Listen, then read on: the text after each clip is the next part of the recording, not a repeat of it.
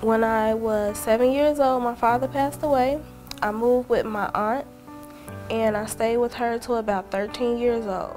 She sent me to every family member house that I could possibly think of. She actually didn't want me. At 11 years old, I went to live with my cousin and she sent me back to my aunt. I went to Milwaukee to live with my cousin. He couldn't handle it, sent me back to Chicago. I moved down the street with one of her friends.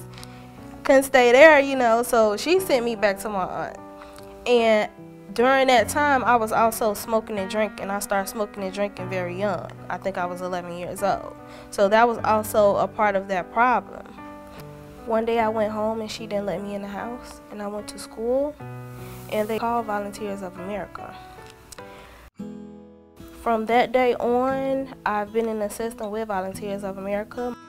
I often tell adults when we're talking about foster care, imagine that in a matter of hours, everything in your life changed. You lost your job, you moved to a new home, every mm-hmm. relative that you've known had disappeared and gone away. And in a day, somebody had to create an entirely new existence for you, of which nothing was familiar. To live in a foster home is like, it's kind of scary. You're not growing up with your brothers and your sisters, you're growing up with people that you don't know. I didn't meet my mom, my brothers, or my sister until I got into the system. Volunteers of America stays with kids for a lifetime and just really being a part of their lives. And I've seen kids transition to adulthood, like Mary. We're still, you know, not that we have a whole lot of maintenance to do with her right now, um, but they, they come back and they want to see what's going on and how we can help and they volunteer. I moved out, went into my own apartment, and when I was 17, I bought a car. They've helped me with school. Now I'm in college.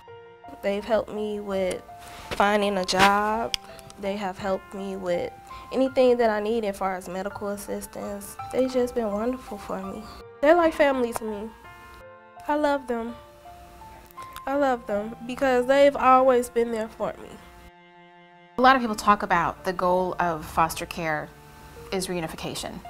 I actually believe that the goal of foster care is to give children a family, whatever that looks like. Sometimes it's reunification, sometimes it's being connected with other biological relatives who can give them that sense of family, and sometimes it's also with an adopted family. But in every instance, um, our goal is to look at the child and to determine what is going to make that child's life better, what is in that child's best interest. 20 years from now, what's going to be the choice that we make today that will help that, that child be a healthy, happy, high functioning adult?